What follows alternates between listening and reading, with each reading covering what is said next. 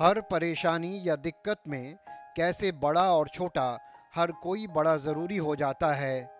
Doctor के साथ paramedical staff ज़रूरी है तो वहीं पुलिस के जवान और हमारे घरों तक सामान पहुँचाने वाला हर व्यक्ति हमारा सहयोगी बन गया है।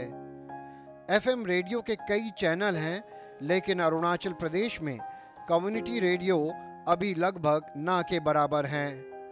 राजधानी क्षेत्र के नाहरलागुन का radio city community radio station भी छोटा सा है लेकिन कोविड 19 लॉकडाउन और ज़िंदगी की बाकी चिंताओं के बीच अब बहुत ज़रूरी बन गया है। जहाँ हम देते हैं आपको कोविड 19 के कुछ अपडेट साथ ही साथ आप अमान और केनी इस कम्युनिटी रेडियो स्टेशन की आरजे हैं और वो लोगों का मनोरंजन करने के साथ ही उनके लिए ज़रूरी हिदायतें भी देती हैं।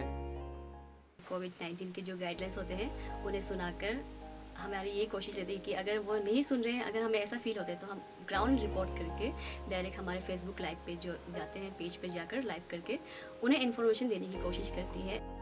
वे ये भी चाहती हैं कि लोग इस समय का उपयोग अपनी मातृभाषा सीखने और एक दूसरे का साथ देने की कोशिशों में भी मददगार बने। जी हाँ दोस्तों, आप सभी लोकल गाने के साथ साथ अपने लॉकडाउन ये लॉकडाउन को वक्त को अगर आप अच्छा इस्तेमाल करना चाहते हैं तो यही समय है जब अपने ग्रांड चिल्ड्रंस को, बच्चों को अपनी जो लैंग्वेज है उनको सिखाया जा सके क्योंकि ज़्यादातर हमारे सिटीज़ में भी अभी देखा गया है कि हिंदी इंग्लिश स्कूल्स के ज़रिए हमें पता चल जाता है और हम भाषा सीख जाते हैं लेकिन हम अपनी जो मदर टंग होती है उन्हें कहीं ना कहीं हम भूल जाते हैं। तो ये लॉकडाउन का पीरियड बहुत ही एक अच्छा समय है जहाँ हम अपनी भाषा को बढ़ावा दे सकते हैं और अपने बच्चों को जितने भी ग्रांड चिल्ड्रंस हैं उन्हें अपनी भाषा को सिखा सकते हैं।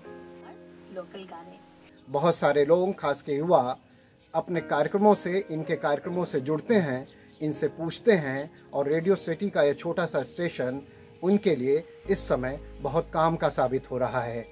Sanjay Pratap Singh, DD news, Itanagar.